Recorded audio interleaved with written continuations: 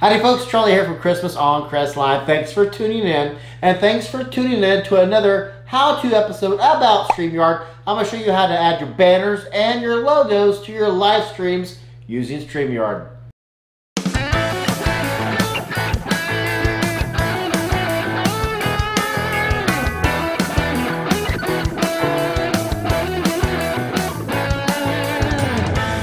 One of my normal subscribers, you're used to tuning in and watching me review Christmas lights, or I'm sequencing a song to my computerized Christmas light show, or I'm doing an unboxing of one of the products uh, to review, uh, or you're tuning in to watch me my Christmas in July extravaganza series, tuning in something Christmas related. Well, today I'm going to pull the curtain back a little bit once again and show you some behind the scenes footage.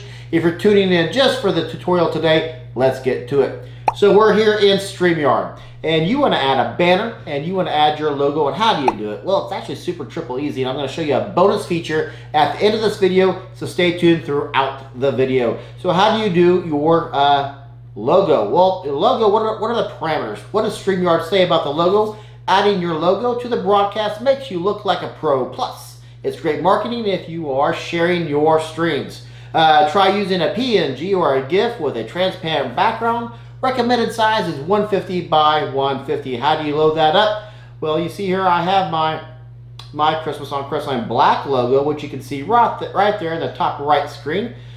That's another transparent, but because I have the uh, black border here, you're only going to see these both in black. When I put up my uh, mascot, you see him right there with the blue shirt, green pants, and red bulb. But maybe I want to add a different different one up. So let's go up here to upload and hit upload and I want to add the uh, mascot with the blue pants. Hit that, double click on that, boom. Right there, we got blue pants. So we can go from green pants, blue pants, red shirt. So that is super triple easy. How do you delete one? It, even easier. You come over here, we're gonna click hide on that, click the big X, and we're gonna delete, delete the logo. Deleting things on StreamYard is the absolute easiest thing you'll ever do. It's super triple easy.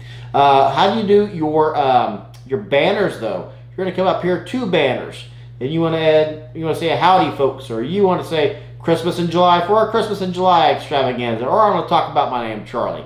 I want a new banner, and I want it to say uh, we'll say uh, how uh, to uh, make banners. Hit the big old enter button and I want to put that up there. Boom, how to make banners. It's that simple. So, but maybe you want to, um, oh, I don't know, say I'll hide that. How do you want to delete it? Again, deleting things on StreamYard, extremely easy. You just saw that. What kind of bonus tip for you? Let's go back over here to the brand page.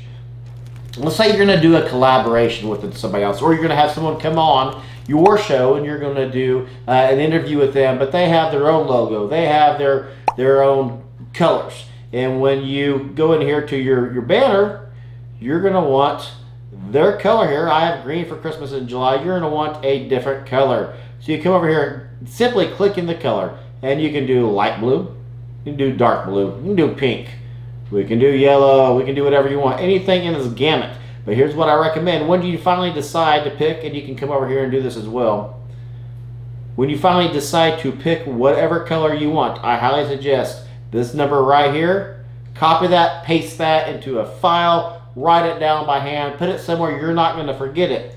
Because when you bring someone on for a collaboration or an interview and they have their own color that you want to be uh, nice and you're like, hey, you're coming on my show, but I want to advertise with your colors. What color do you have? Like, oh, you're yellow. Okay, well, I'm going to come over here to yellow and we'll do your yellow. And your number here is now erased. So you're going to want to save onto that number, hold on to that number. That way you can just come back and I'll see I'm going to copy that right here.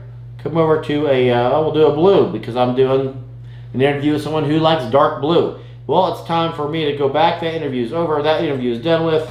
Control V, hit enter, and boom, you're instantly back. So copy that, paste that, write it down by hand, put it somewhere you're not going to forget it. Take a screenshot of it. That way you don't lose it and you can go back to your logo, any, logo anytime you want. The reason why this how-to video came to be is in the last StreamYard how-to, I had a lot of people come on and say, hey, how do you make banners? Hey, how do you, uh, how do you do this? How do you do that? both on YouTube and on our uh, Facebook page. So that's how this video came to fruition. Uh, if you have any other questions about StreamYard, about anything we do here on Christmas on Crestline, or about our upcoming Christmas in July extravaganza, put it down in the comments below. Let me know what you think. Let me know what you got going on in your lives today. Uh, that's it for me today. I'm Charlie. I'll see you in the next episode.